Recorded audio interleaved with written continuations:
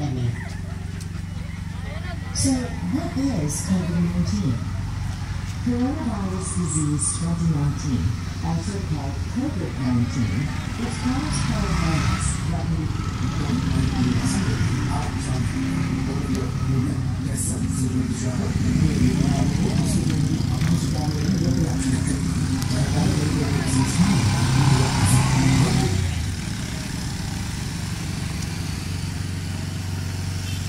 පොලිස්ලමට පසුගිය දින 14ක් තුළ සිදු කළ විවිධ සංචාරයන් නම් ඒ බව වෛද්‍යවරයාට දැනුම් දෙන්න.